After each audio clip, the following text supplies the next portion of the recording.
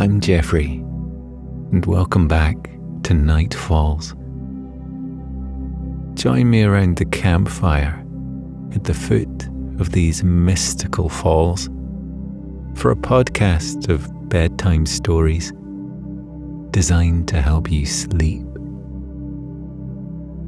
Each week, we'll begin with a brief meditation before settling into our story for the evening. And don't worry if you fall asleep before the end. I want you to drift off whenever you're ready. Pull up a seat beside the campfire tonight and let me tell you the tale of Fenris, a young boy hailing from the kingdom of the water dragon. Fenris learned young that our greatest adventures are almost always born out of companionship. My dog Otto has a habit of bringing me along on his adventures. Morning walks often turn into muddy trudges through the thicket as he chases after squirrels, and I chase after him. Otto is something of a lovable rogue. On the days when I feel pressed for time, he has a habit of bounding away from me at speed and adding miles to the length of our walk. Though I'd never tell him, I've often found the extra time to relax to have been exactly what I needed. Like all great friends, Otto knows exactly what I need, even when I myself haven't the foggiest. So, before tonight's journey begins, let's take a moment to create a little time and space for ourselves. Coming to a comfortable position, allow the muscles of your jaw to release, your head and neck to come into alignment, and your shoulders to drop down into the soft cushions beneath you. Release the muscles of your core and drop in a deep breath as you welcome kindness, compassion, and calmness into your body. Exhaling, release any frustration or impatience lingering within you. This is your time, your opportunity to honour yourself. Inhaling, allow your breath to deepen and feel your lungs expanding as you create a sense of space within you. Exhaling, let go of all of the faces and places that led you up to this evening. Inhaling, know that there is only you, breathing into this perfect moment you have carved out for yourself. And exhaling, if you're feeling ready, Fenris's story can begin.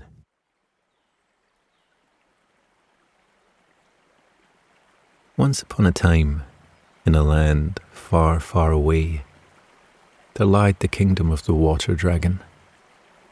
This kingdom was a most spectacular place, full of radiating beauty and mystical magic. Every building looked like a castle, with majestic staircases that wound their way up and down the mountain, from each beautiful building to the next Towers and turrets with stunning multicoloured mosaic roofs popped out above the stone walls, and regal golden statues representing mythical winged creatures stood guard, dotted around the kingdom. Everyone who lived in the kingdom of the water dragon counted their lucky stars every day that they were blessed enough to live there.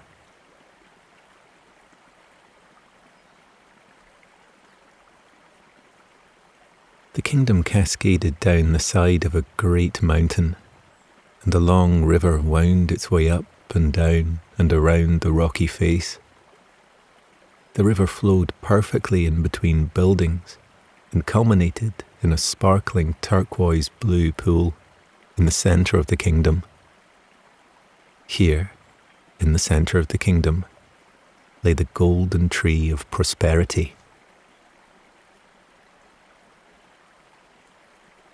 The golden tree of prosperity had bloomed for thousands of years. It shone with the glittering light of millions of crescent shaped golden leaves. Legend said that each leaf shone with a light captured from individual moments of grace and goodwill that the people of the kingdom had committed. As long as the golden tree of prosperity continued to shine, the kingdom of the water dragon would continue to live in abundance. Guarding the golden tree was the famous water dragon that lived in their waters, called Aenon. Aenon was a peaceful dragon, and he took his duty very seriously. He was popular with the people of the kingdom, who loved to watch him glide through the rivers. They took comfort whenever they saw Aenon bathing in the pool surrounding the golden tree.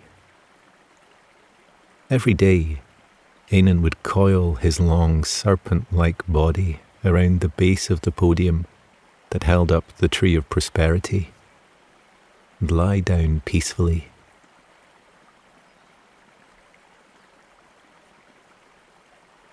It appeared that Aenon had a relaxing existence spent bathing in the waters, darting along the streams, and every now and then raising his giant head out of the water to gaze closer at the tree and at the people observing nearby.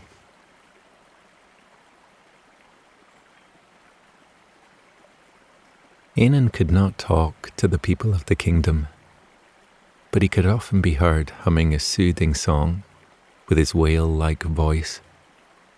Aenon the water dragon brought a feeling of safety to the kingdom, and all who lived there were very grateful for his presence.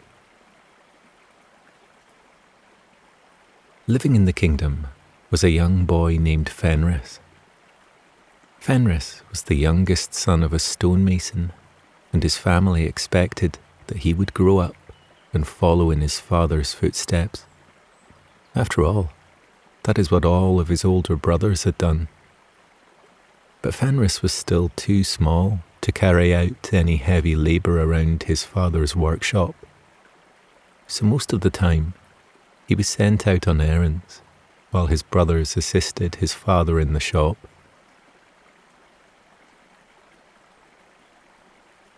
One early morning, Fenris was on his way to the blacksmith's to have a tool fixed for his father. He bobbed along happily, his mop of sandy blonde hair flopping across his face as he went. He passed by the golden tree of prosperity on his route, as normal, and peered over the railings at the water's edge, trying to catch sight of Aenon the water dragon. Fenris had always been fascinated by Aenon since he was a baby, and his day was always instantly made better when he caught sight of the incredible mythical creature.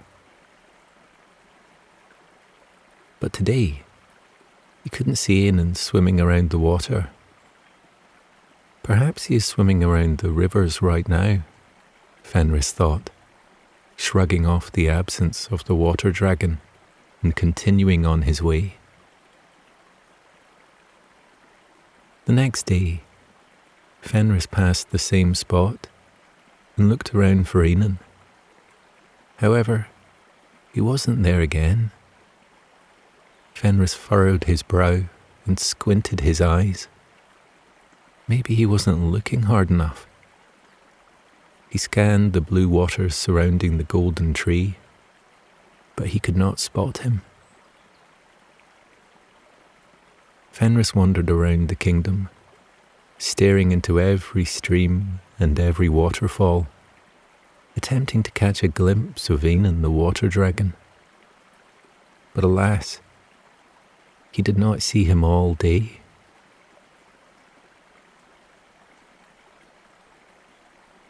On the third day, it seemed that Fenris wasn't the only person to notice that Aenon had pulled a disappearing act. Nobody has seen Aenon around the kingdom in days, his friend, Gideon, proclaimed. Everyone is concerned about what will happen to the golden tree of prosperity with him gone. Who's going to protect it? The spirit of the tree always seems to be fading. The leaves aren't glowing as brightly as they were a couple of days ago. Fenris listened to his friend Fred, but he couldn't think about what was going to happen to the golden tree right now. What had happened to Einan the water dragon? Nobody seemed to be concerned about his whereabouts, more about the tree of prosperity. All day, everybody in the kingdom was talking about the golden tree and Einan's disappearance. But nobody seemed to be too interested in Einan's well being. They worried about the effects that the tree being exposed might have on their kingdom. Fenris sat by the side of the deep blue pool where Einan normally rested and pondered. Where could Einan have gone? And how could he have gotten away unnoticed? Water dragons couldn't fly as some other dragons could, and they very rarely moved on land. They were built for and thrived in water. Fenris looked around at the rivers of the kingdom flowing down the mountainside to meet in the central pool. He must have swum away using one of these rivers, Fenris concluded. He hopped to his feet and decided to trace the path of the rivers and see where they went. He followed one river all the way up the mountainside, climbing against the current. It felt very strange to be travelling in the opposite direction to the flowing water. But Fenris knew that he wouldn't find any answers in the pool at the bottom of the kingdom. Eventually, Fenris found himself close to the very top of the mountain and noticed that the river was leading inside a cave. Quietly, Fenris waded through the shallow water and into the cave. Immediately, he could see an open clearing ahead within the rock, and he pushed on. As the water became deeper, he pulled himself up onto a large boulder so that he could get a better look.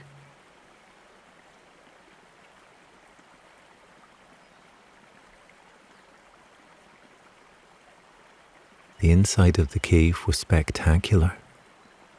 A large hole in the rock to one side allowed a steep waterfall to plunge down into the cave's waters. But miraculously, as soon as the water hit the pool, the water became calm and still. The only sounds Fenris could hear were the gushing of the waterfall and the fluttering of wings and chirping of birds outside of the cave. His footsteps echoed as he hopped from stone to stone across to the highest boulder in the cave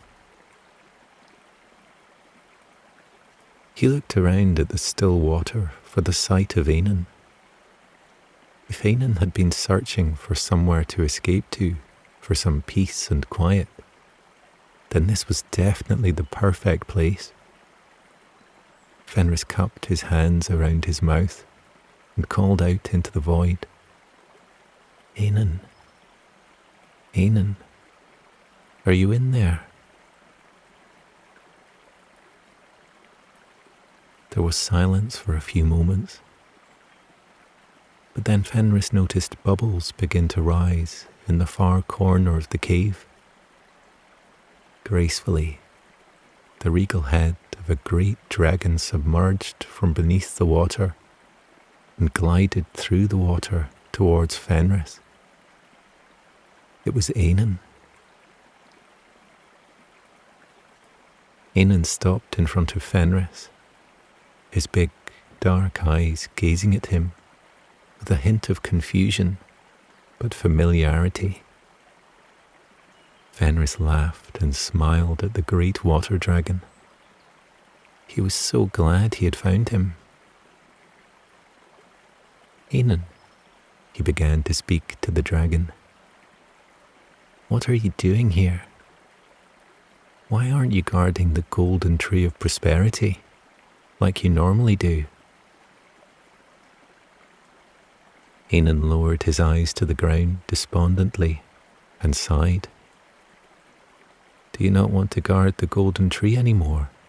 Fenris inquired, trying to read the expression on the downhearted dragon's face. Einan dipped his head in response, closing his eyes Fenris could tell that Einan was not himself. He seemed out of sorts. Are you all right? Fenris asked, reaching his hand out towards the gracious water dragon. Einan brought his head closer and rested it against Fenris's palm. Fenris knew that he had to help poor feel right again. But how could he help him when he didn't know exactly what was the matter?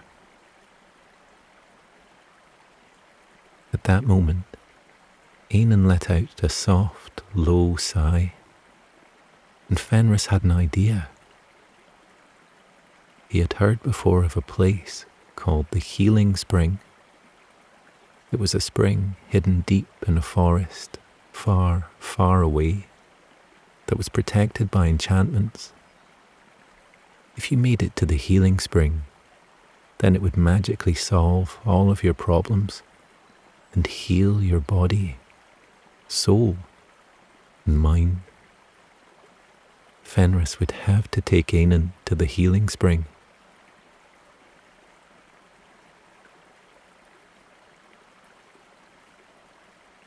Fenris racked his brain and recalled that the first step in the journey was to get to the Forest of Wonder.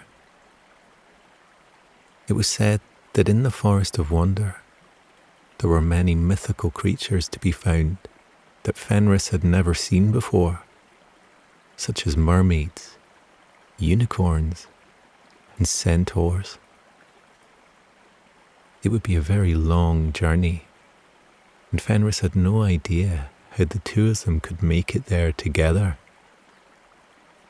Einan would have to travel by sea, and Fenris on the ground. Fenris would never be able to keep up with Einan, shooting through the waters. Birds fluttered above the waterfall, leading to the outside world, and Fenris suddenly had an idea. On the top of the mountain was the fountain of reincarnation, where a great phoenix lived. Perhaps the wise bird would be able to offer him some guidance. Come with me, Fenris commanded, ushering Einan towards the entrance of the cave. Einan followed dutifully behind. The fountain of reincarnation stood proudly at the very top of the mountain. Fenris closed his eyes and enjoyed taking a deep inhale of the soothing, clean air as he stood on the mountain top. The fountain of reincarnation was a beautiful stone fountain, a large pool of water at the base, and two smaller tiers on top with water gently trickling down. The fountain didn't look much different to any other common water display. However, this particular water source was famously renowned for being the resting place of a great phoenix. The phoenix was said to be as old as the universe, coming to existence at the time when the world began the phoenix had the power to live forever, and every 100 years would shed its feathers and burst into flames, ready to reincarnate within the fountain of reincarnation. The people of his kingdom would come together to watch the magical rebirth if they were lucky enough to be alive at the turn of the century. Fenris had never seen the phoenix for himself, but he had heard many stories about its greatness. He looked around the mountain top, but could see nothing except for the fountain. Hello, he called out. My name is Fenris, and I am from the kingdom of the water dragon. This here is Anan, and he needs your help. We need your help, mighty phoenix. The wind instantly picked up, and swirling leaves began to spiral and twist around and above the fountain of reincarnation. In a burst of multicolored feathers, the great phoenix appeared, perching on top of the fountain.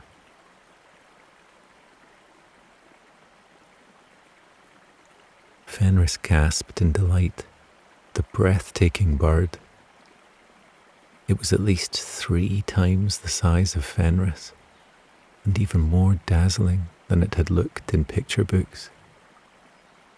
Its colourful feathers of pink and orange and yellow were so scintillating that they created the illusion that they were permanently on fire.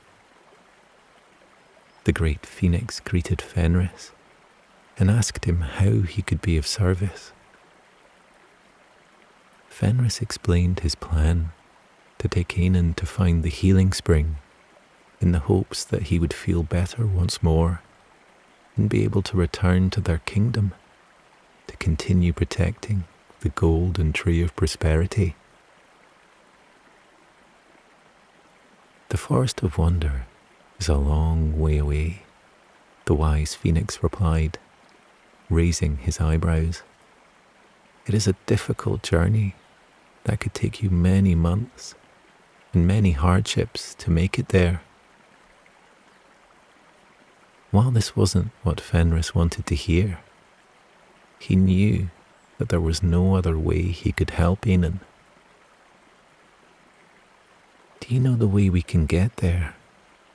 I have to help Anan feel happy again.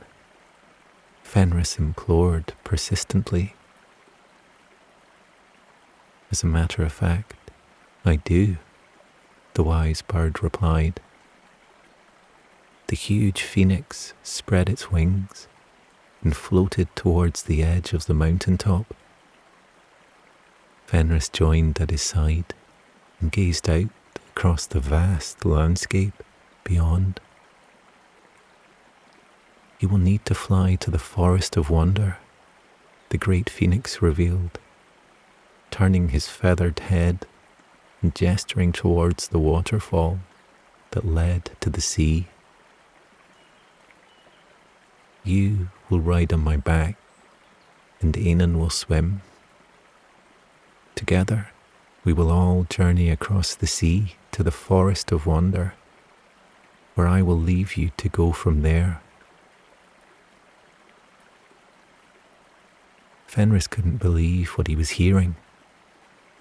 The phoenix was not only offering to help him, but he was offering to allow him to ride on his back the whole journey there. Without a moment to lose, Anan dived down into the waterfall and gracefully glided down and into the deep blue sea below. He immediately started swimming through the waters in the direction of the horizon. Fenris climbed up onto the sturdy, strong back of the phoenix, clutching a bunch of feathers in each hand, and they took flight.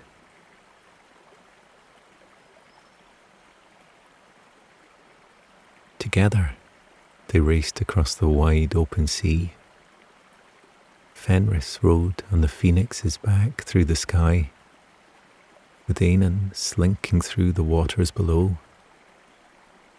They flew and swam at great speeds, and Fenris laughed with delight as the cool wind caressed his face and rustled his hair. His clothes billowed in the breeze as he held on tightly to the multicolored feathers on the giant bird's back. Fenris had never felt so alive and free. If only he could fly like a bird too, or swim through the waters as easily as a water dragon. Life would be such an adventure. Yet here he was, experiencing it with both of them.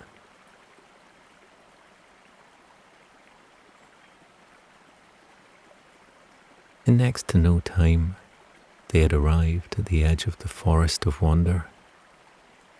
Fenris and Einan were very far from home, but their journey had only just begun. Fenris thanked the great phoenix for his assistance, and Einan bowed his head respectively. Then they found a stream flowing into the forest and made their way inside, with Fenris walking on the banks of the water, while Einan floated alongside. Even though the pair of unlikely friends couldn't speak with one another. They seemed to have an understanding. They trusted each other and enjoyed the quiet company.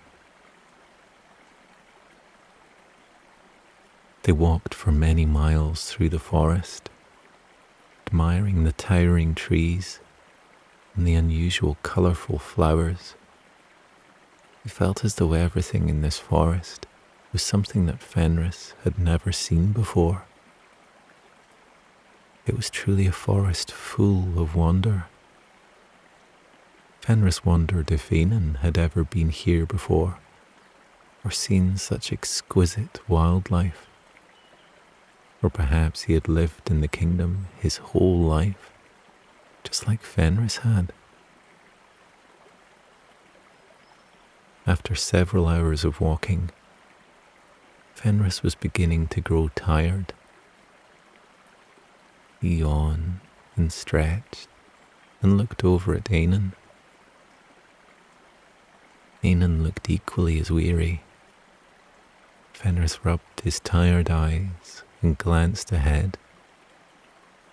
There was something shimmering through the gaps in the trees in the distance. He began to run and Einan picked up the pace too.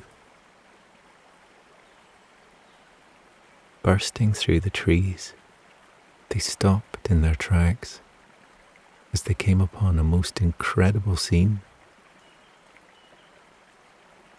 In front of them was a giant mirror the size of a house. However, the mirror didn't appear to reflect the scenery behind them instead showed a different place altogether. The mirror appeared to be some sort of portal between worlds or places. Fenris's eyes grew wide as he noticed water from inside the mirror flowing out like a waterfall and into a small pool of water on this side of the forest. Birds flew in and out of the mirror, flitting between realms with ease. The giant mirror frame was wooden and carved with intricate swirling patterns. Tree branches, vines, and plants had grown around the frame, meandering in every direction. A mossy bank was built up to the side, growing on the giant root of a tree that had twisted its way around the mirror, holding it upright in place. Fenris squinted his eyes and looked deep into the mirror. If he wasn't mistaken, he believed he could see the healing spring inside the miraculous portal. He looked to Ainan and cried, We found it. We found the healing spring.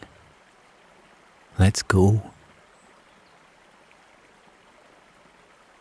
Fenris had read in books that there were guards to the healing spring, but he couldn't see anyone around.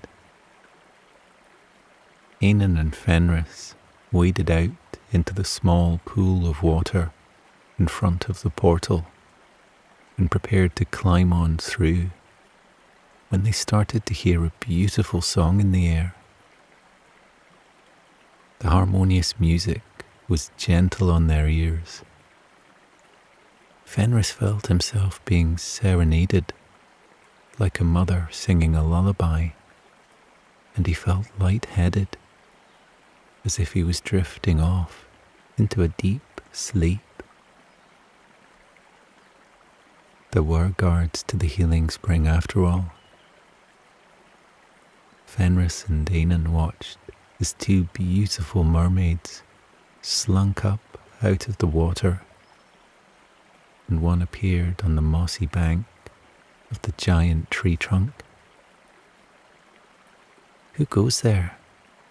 Mermaid with long white hair and large purple eyes asked in a sweet voice. Fenris introduced himself and explained how Ainan wasn't well and they required the healing spring to make him better again. The mermaid laid across the mossy bank, casually braided her long mane of black hair, and informed him that he must pass a test in order to be admitted entry to the healing spring. Fenris hadn't expected a test when he set out on this noble quest, but he had no choice now. He must do this for Ainan. The third mermaid perched herself on the bottom of the portal frame and let her blue fin dangle into the water, teasingly below. She closed her eyes, took a deep breath, and spoke in a husky tone. What can run but never walks? Has a mouth but never talks, has a head, but never weeps, has a bed, but never sleeps. Fenris thought hard. He repeated the riddle in his head and then spoke it out loud again. This was a tricky question and he only had one chance to get it right. What can run but never walks? Has a mouth but never talks? He looked to Ainan for inspiration, but Ainan simply stared back at him, unable to contribute. The riddle almost sounded like a description of Ainan himself. He couldn't talk, at least not to Fenris, and he could run through water, but not on land. He repeated the last part of the riddle once more. As a head, but never weeps. As a bed, but never sleeps. Then a light bulb clicked inside Fenris's head. This riddle was almost like a description of Ainan. But perhaps that was because Ainan was so entwined with the answer to this riddle. Turned back to the mermaid triumphantly and announced his answer. The answer is a river, he declared. The mermaids froze for a moment. Then they smiled and slowly parted ways, leaving the entrance to the portal wide open. Fenris and Anan dived forward towards the portal, while Fenris clambered over the rim of the frame. Anan slinked with ease over and into the healing spring beyond.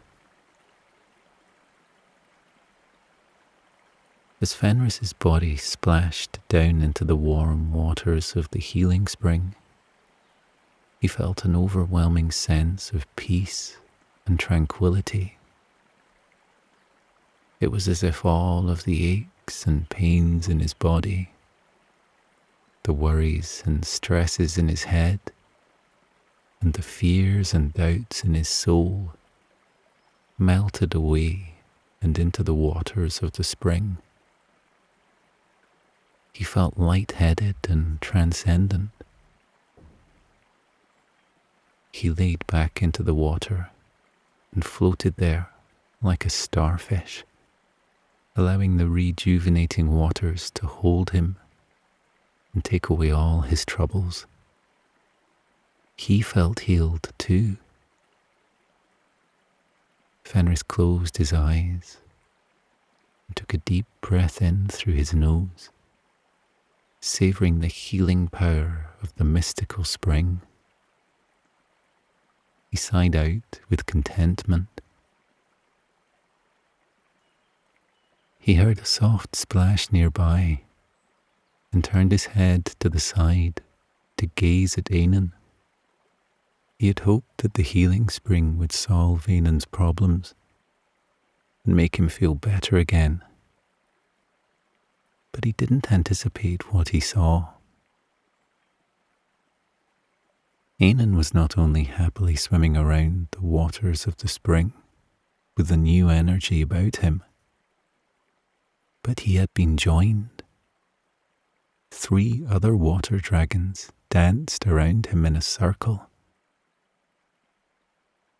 welcoming him to their fold and waving their heads towards one another in communication. Anan looked joyful and free, and the spark of light had returned to his eyes. This was what Anan had wanted all along.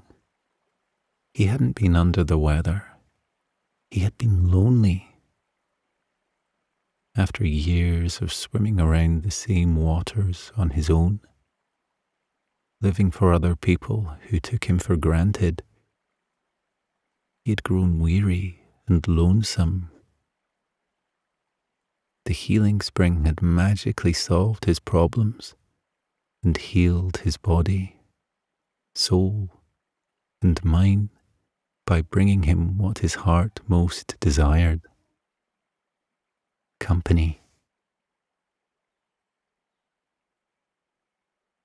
Fenris smiled and watched all four water dragons tip their heads back towards the sky and let out a soothing dragon song in perfect synchronized harmony. Anan the water dragon was healed at last. Far away, back in the kingdom of the water dragon, the golden tree of prosperity began to glow brighter than ever, much to the delight of the people.